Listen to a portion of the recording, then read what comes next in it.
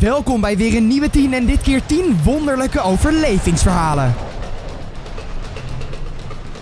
En op nummer 10 staat Alexander Selkirk.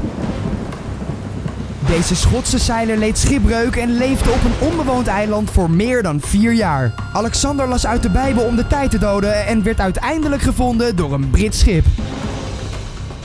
En op nummer 9 staat Joe Simpson.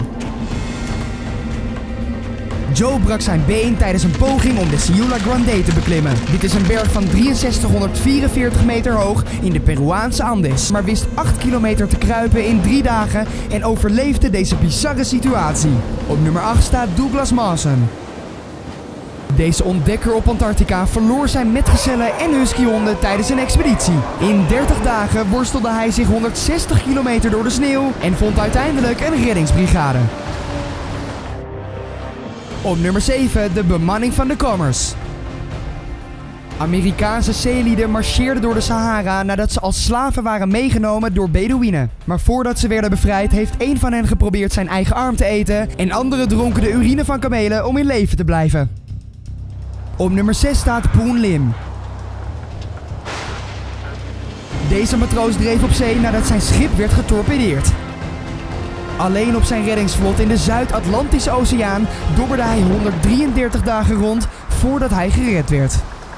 Op nummer 5 staat Ernest Shackleton en de Endurance Expedition.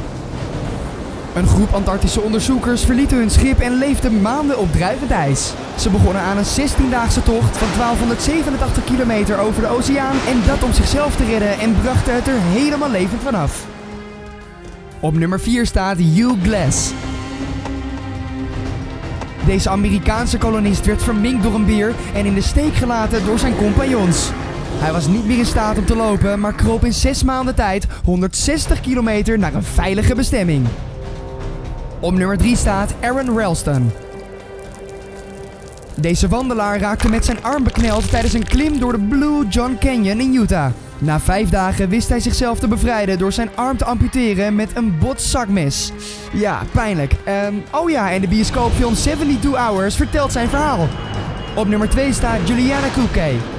Juliana was de tiener die de crash van Lanza Flight 508 overleefde. Alle andere 91 passagiers overleefden het ongeluk niet. En Juliana vond hulp na een tiendaagse trektocht door de Peruaanse jungle. En dan op nummer 1 staat de luchtmacht van Uruguay.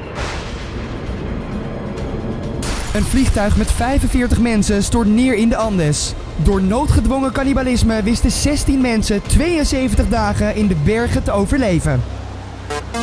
Bedankt voor het kijken naar deze nieuwe 10. Klik op één van deze drie video's voor nog meer toffe lijstjes. Geef een duimpje omhoog, abonneer voor meer en dan zie ik jou de volgende keer. Tot ziens!